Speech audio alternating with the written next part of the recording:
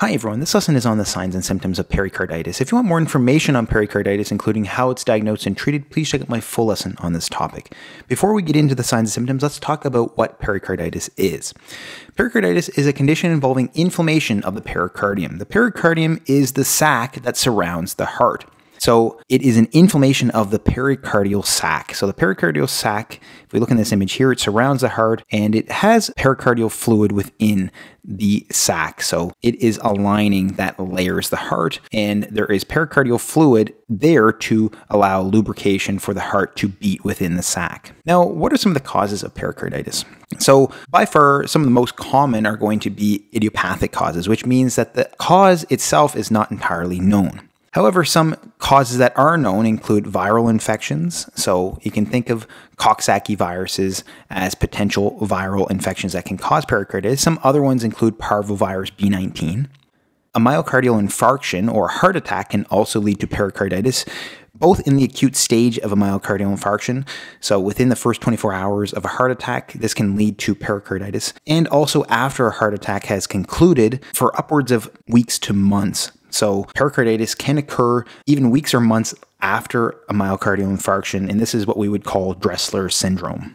We can also see pericarditis from uremia, so increased levels of urea in the blood. This can be from chronic kidney disease. Certain cancers can also cause pericarditis, including Hodgkin's lymphoma, Radiation can also lead to pericarditis. We can also see some medications causing pericarditis, and then some autoimmune conditions like rheumatoid arthritis can also lead to pericarditis as well. If you want more information, again, please check out my full lesson on this topic. But the topic of this lesson is that pericarditis, or this inflammation of the pericardial sac, causes a variety of signs and symptoms, and we're going to talk about those in the upcoming slides. Let's first talk about the main symptom that can occur with pericarditis, and that is chest pain. So this chest pain is actually going to be the most common symptom in pericarditis. This chest pain is going to affect the retrosternal area and or the left-sided sternal area. So if we look in this image here, here's the sternum. It's going to be oftentimes behind the sternum, so retrosternal, or to the left. So this is, again, where the heart would be located. So the heart's going to deviate to the left in majority of patients. So you can have a little bit of pain in that area as well. The pain is often going to be severe and this pain may radiate to the neck and to the arm. Now, there are particular characteristics with regards to this chest pain, including pain being pleuritic in nature. So, what does that mean? Pleuritic actually means that the pain gets worse with inhalation or inspiration. So, when you take a deep breath in, you can imagine that if you take a deep breath in, your lungs expand and can push onto the pericardium. If it's inflamed, that can lead to pain. So, this is why we can see pleuritic chest pain in pericarditis. It's also positional. So it's actually worsened when the patient's lying down flat. So you can imagine that if you are lying down flat, gravity is going to pull down onto the heart. It's going to cause pressure onto the pericardial sac, causing some increased pain. And along with this, if a patient sits up and leans forward, that can reduce some of the pressure onto the pericardium, improving the pain. The pain can also be worsened with coughing and swallowing. So again, you can imagine if you're coughing, it can cause some irritation on the pericardium, causing more pain. And this is why we see certain characteristic findings with regards to the chest pain in pericarditis. So these characteristics are very important to take away from this slide.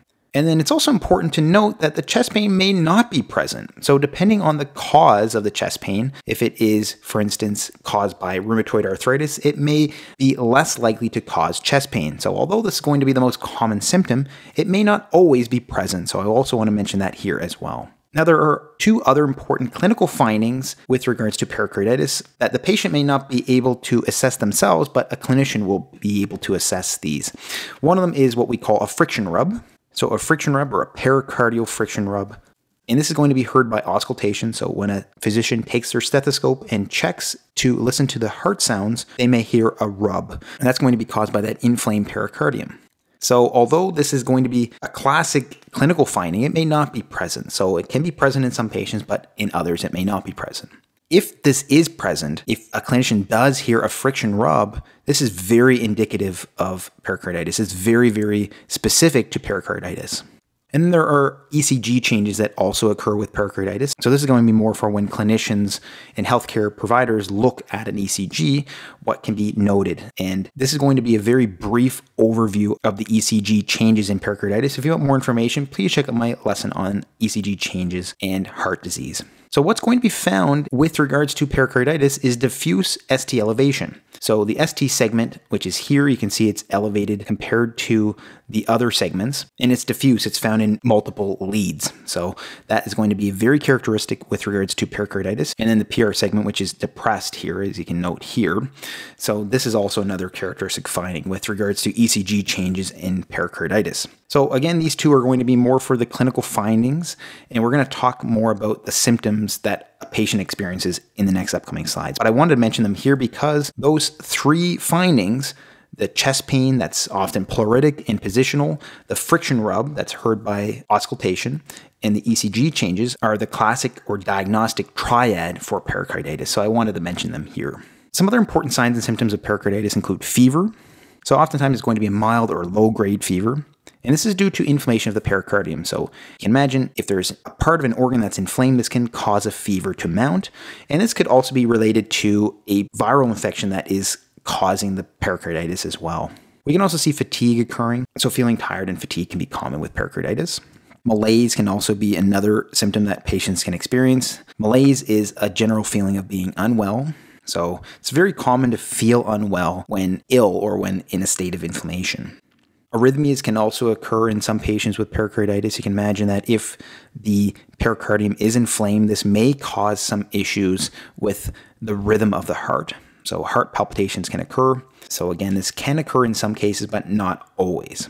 And it's important to note that the patient that has pericarditis oftentimes will recover within one to three weeks, but they can go on to having complications from the pericarditis, and we're going to talk about those later on in this lesson. Because there are a variety of underlying causes of pericarditis, and most often a lot of them are going to be related to viral infections, signs and symptoms related to the underlying cause, especially viral infections, can be also noted in patients with pericarditis as well.